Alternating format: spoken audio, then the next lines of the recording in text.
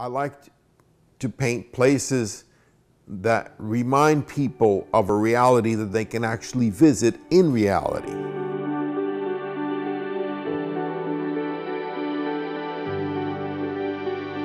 Go through and live through the experience of a brain tumor like I did was a lesson I never imagined to learn, and it taught me a lot.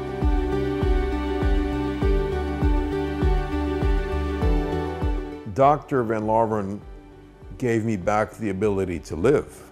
Mr. Strachov came to the hospital becoming paralyzed, becoming quadriparetic, quadriplegic, losing function in all his extremities, losing his ability to paint, which is so important to him, but even more than that, losing his ability to walk. He had a benign tumor, but it was extremely large and deeply placed underneath the brain, very hard to get to.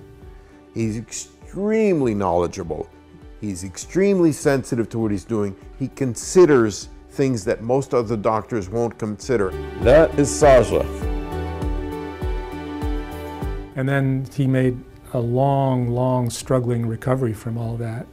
A long time in rehabilitation, a lot of personal effort and strain, stress. Being able to do this forced my hands to coordinate with the brain and it provided an exercise that I greatly needed.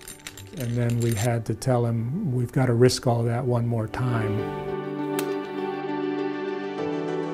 I was very happy that I went through the second surgery successfully, although, you know, there were a lot of concerns about the eye and all this stuff, but I was glad to be alive.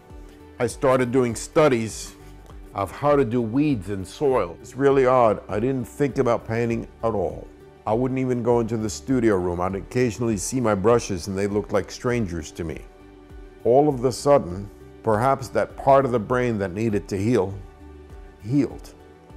So I, when I walked into the studio, I had a completely different feeling.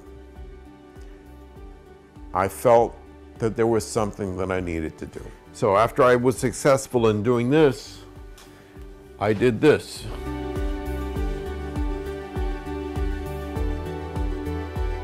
It's one of the most beautiful places I've seen and it's a place that kept itself on my mind while I went through all of the hospitalization and all of the surgeries.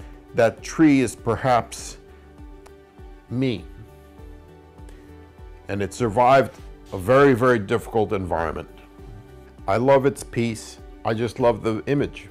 I can't look at his art anymore without feeling personally engaged or involved. I'm alive here today because of him.